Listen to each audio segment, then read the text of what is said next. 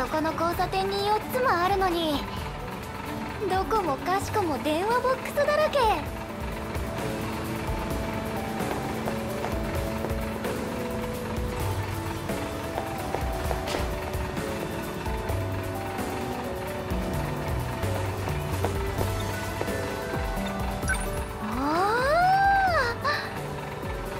このバスの何とも言えぬ古めかしさ。走ってる車全部角張ってていかつい。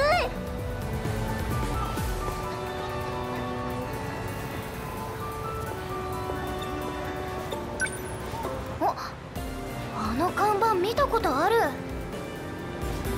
昭和タグの解雇動画で見た。動画と同じ。信号機も分厚いな。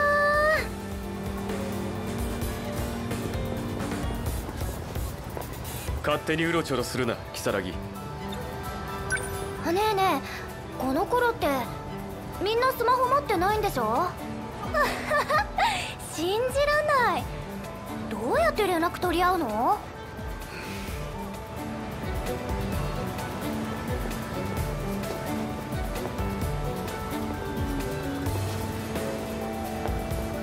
うわ何あれ極めつけ？髪型すんごい。あ ダメ笑う。何それリーゼントっての？昭和おかしい。あ何笑ってんだ？あ笑うでしょそれ。お前喧嘩売ってんのか？何それリ昭和。何あ笑お前喧嘩売っ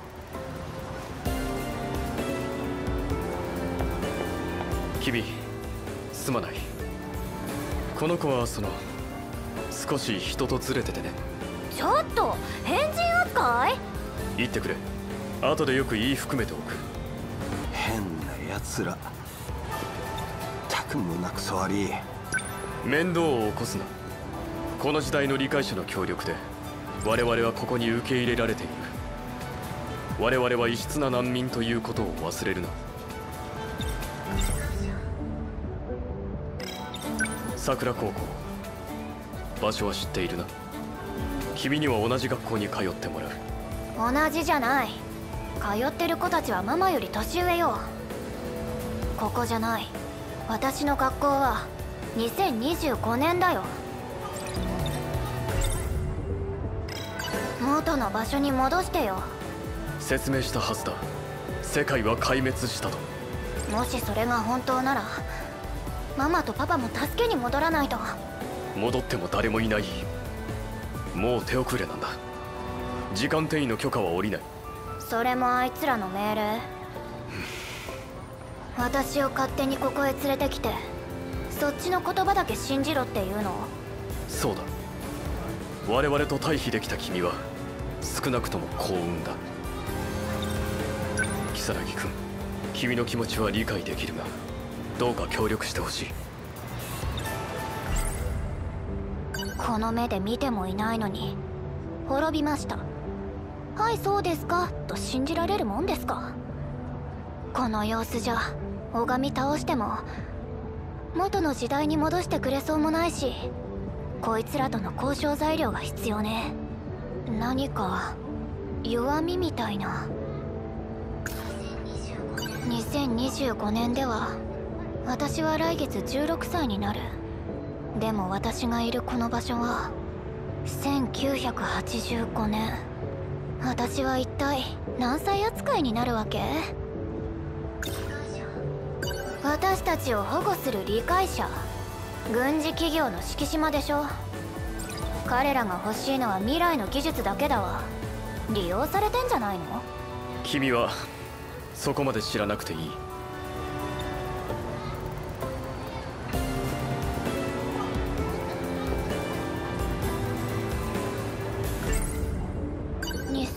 95年でもニュースで見た会社だ。冷蔵庫からミサイルまで作ってる大企業で世界中に工場があるとか。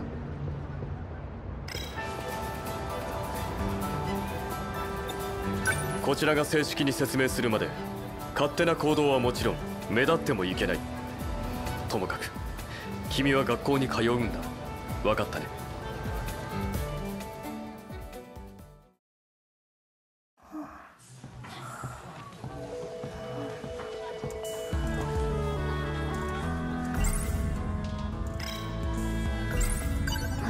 た時代は滅んでしまった。この目で見るまでは信じられるもんですか？奴らの弱みを見つけて私の時代に戻るのよ。2025年でも私1000私は一体何歳や？敷島は明治期の就職先人気企業ランキングに常に関連企業の名前が並ぶ。敷島重工は明治に造船所として始まり後に航空機事業と合併。戦時には兵器製造を中心に発展した。戦後は家電からロケットまで製造する。敷島関連企業の一翼で世界的な機械メーカーだ。うさみちゃんそんなにたくさん何の本借りたの？見てもいい？面白いもんじゃないよ。ちょっとだけ。どれどれ？会社指揮法？企業案内に経済誌も。うさみちゃんすごい。キャリアウーマン目指してるの？いやその大企業の弱みを握って操ったりできないかな。なんて思って。え？うさみちゃんやっぱり少し変わってる？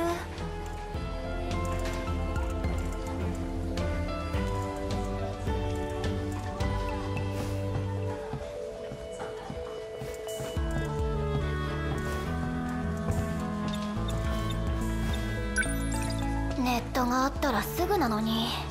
本で情報を集めんの大変よ。ネット大変よねとなんつって。そういえばケーキの美味しそうな喫茶店見つけたの。今日の帰りどうかな？別にいいよ。でも昨日いたクレープもいいな。この頃のってまだシンプルで逆にいけるのよね。うーん確かにクレープも魅力的。いっそ両方とかダメかな。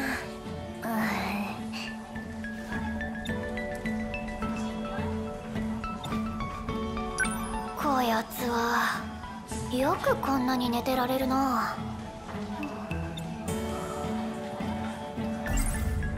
図書館で資料を探して敷島重工業についていろいろ調べても株主向けの情報ばかり。当たり前だけど弱みになりそうな情報なんて載ってない。敷島は明治期の動乱に正常として財を成した財閥。就職先人気企業ランキングに常に関連企業の名前が並ぶ。敷島重工は明治に造船所として始まり後に航空機事業と合併。戦時には兵器製造を中心に発展した。戦後は家電からロケットまで製造する。敷島関連企業の一翼で世界的な機械メーカーだ。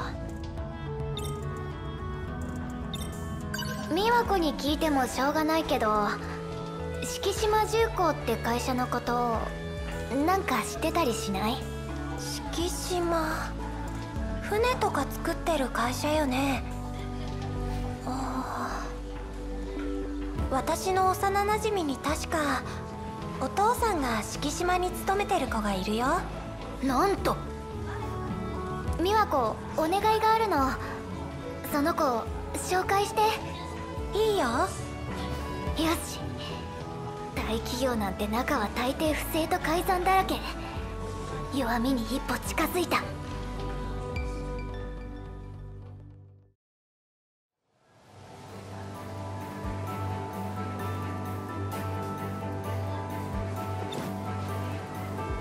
幼なじみって同じ学校だったのね。でも来ないね。待ち合わせ間違えてんじゃない？ううん。来たくないとかちゃんと伝えたし大丈夫。来るよ。約束は破らない子だから。2020でも私はげあの時のリーゼント頭。ちょっとこれどういうことなの？あ彼が幼なじみの尾形年次君。嘘。んで宮子どこにいんの？俺のこと好きって可愛い子じゃん？え？あのあその彼女うさみちゃん？あ？俺の頭にイチャモンつけたチンクシャじゃねえかなんだそりゃ。だけど悪口なのはわかるぞ。ちょっと待って。なんて言って呼び出したの？話がある子がいるって。それでなんで告白だと思うの？アホじゃないの？なんだとこら。がっかりさせやがって。いやそれはこっちのセリフだ。けえ喧嘩はダメだよ。いたいた。いないから探したじゃない。今のって。あれ？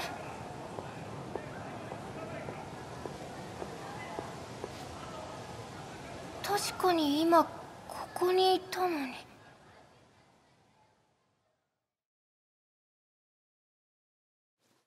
さみちゃん。うさみちゃん。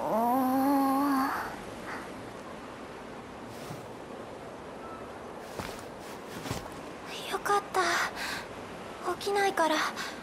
死んじゃったかと思ったよ。何がどうなってんの？わかんないよ。何か光ったと思ったら。こうなってて。いてて。大丈夫か？リーゼント。俺は尾形年次だ。覚えとけチンクシャ悪かったなリーゼント。私は如月トミー変な呼び方すんな。このアマ喧嘩してる場合じゃないよ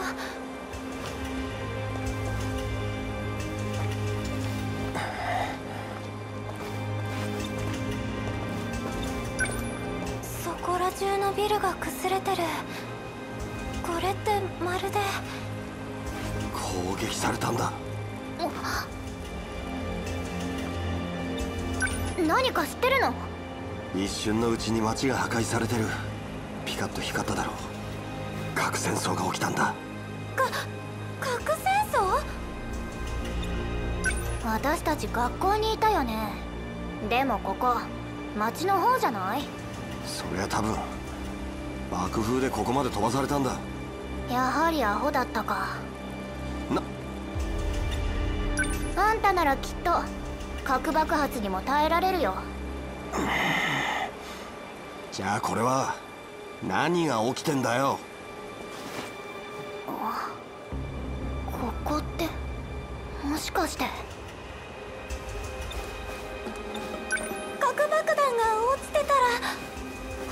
で死んじゃうよ。逃げなきゃ。まずいよ落ち着け美和子うん。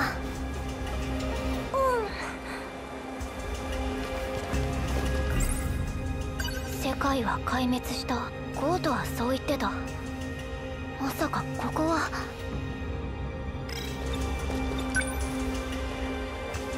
ここ欅町だえ本当だ電柱の表示板商店街の近くらへんね。なんだと？学校からだいぶあるじゃねえか。じゃあみんなはみんなはどこ行っちゃったの？美和子。パパママ。何が起こったかはわからねえが誰もいねえとこ見ると避難したんじゃねえか。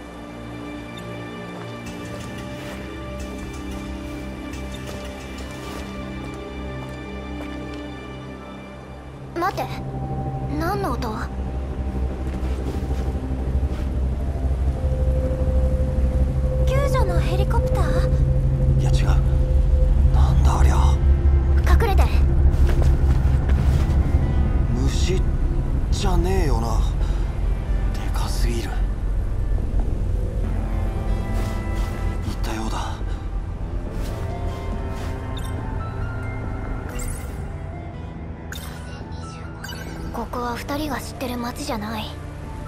壊れちゃって面影がないけど。多分ここは2025年。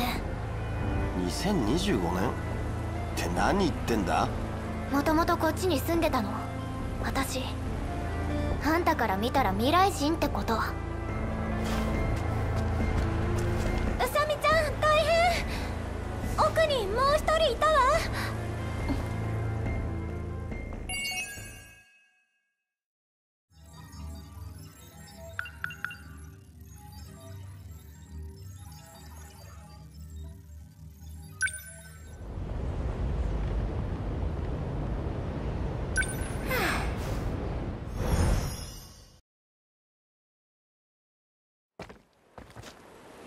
喉が渇いた。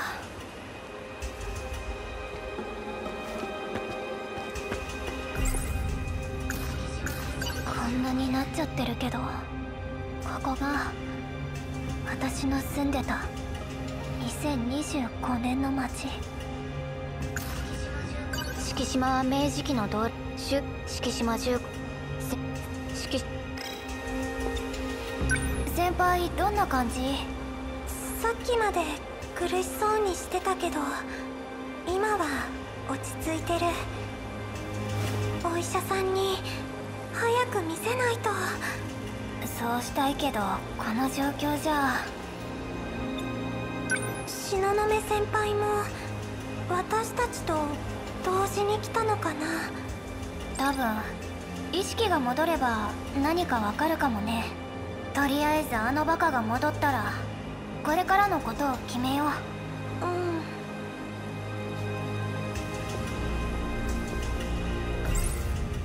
東雲先輩ゴートと一緒のところをよく見たなもしかしたらこの人も未来から。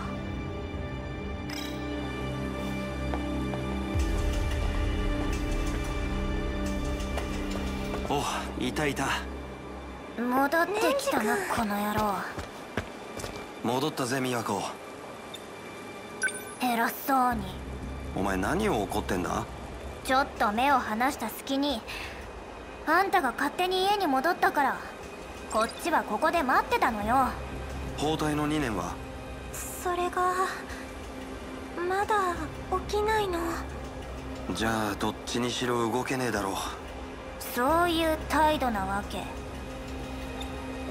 どうだったの？ほれまずは飲めよ。壊れた自販機から飲み物くすねてきた。お前もともかく食い物と水がねえとな。缶詰や缶ジュースなら探せばありそうだぜ。あありがとう。喉乾いてんだろ。飲めよ。冷えちゃいねえが中身は大丈夫だ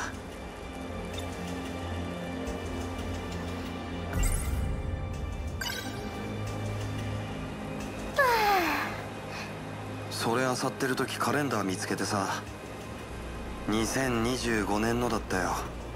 お前の言う通りここは未来っぽいな。街はどこもぶっ壊されててここと似たようなもんなんだがとんでもねえもんがあちこちにあったぜ。とんでもないって？怪獣だ。怪獣が死んでやがんだ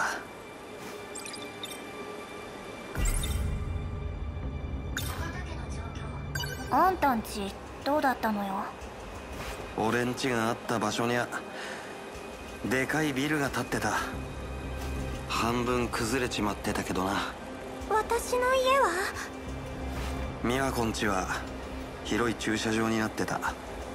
ママやパパは？40年も経ってんならどうなってるか全くわからねえな。私の家はどうなっただろう？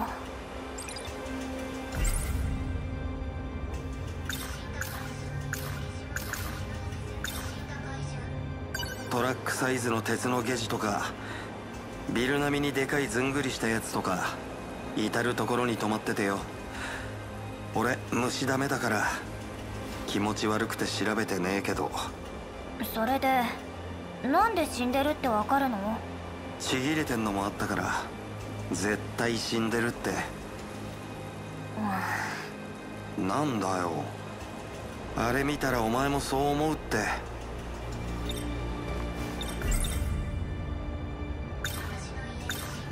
私も自分の家がどうなってるのか両親が無事なのか確かめたい。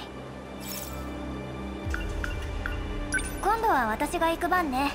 悪いけどここにいて。うさみちゃん。おい待て。美和子は2年とここにいてくれ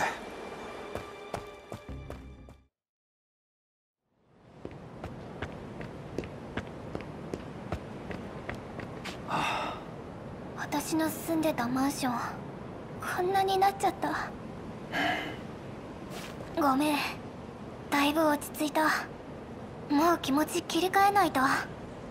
無理しなくてもいいだろう。泣きたい時はちゃんと泣くべきだ。泣いてなんかないわよバカそれじゃそのひっでえ鼻声は風邪か？元からこういう声なの。そうか？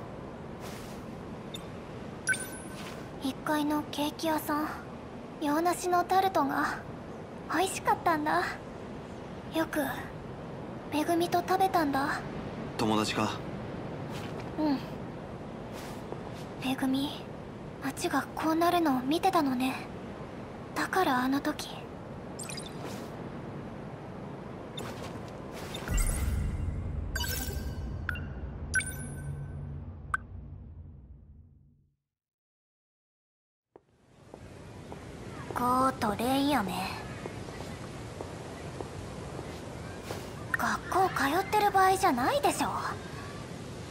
それも40年前の学校なんか。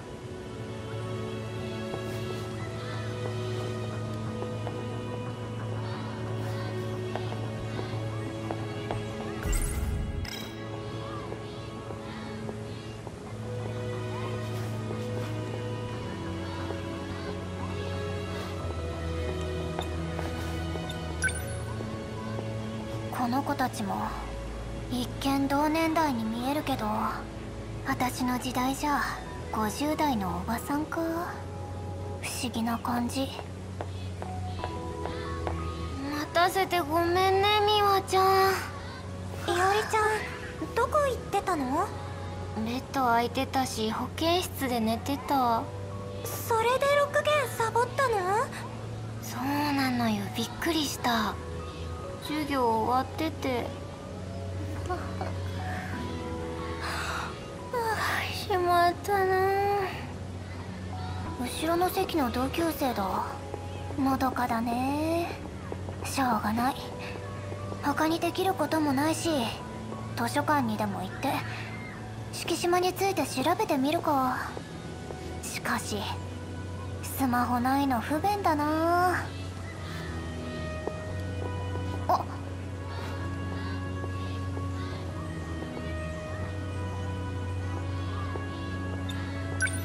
めぐみ。トミあんたもここにいたんだね。無事でよかった。めぐみ私たちの町どうなったの？あんたあの後残ってみたんでしょ？それは。教えて。パパとママは？コートの言ったこと。嘘だよね。あそんなわけないよね